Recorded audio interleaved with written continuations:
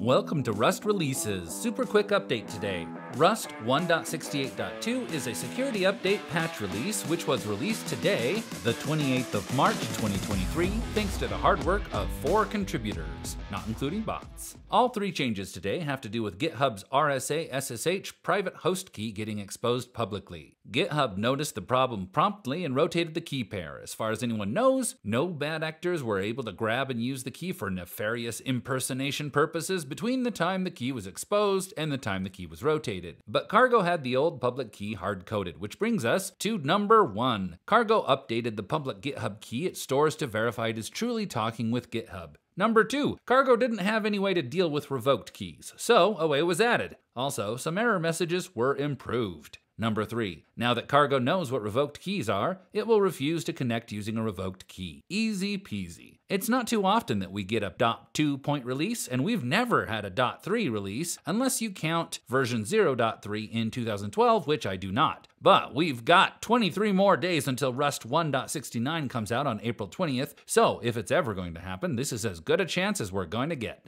I'm going to create another Rust course. Go take my survey if you want to help choose which subject I teach. You can opt in to get a discount code if you want. The link is in the description. That's all for today, folks. Please like and subscribe.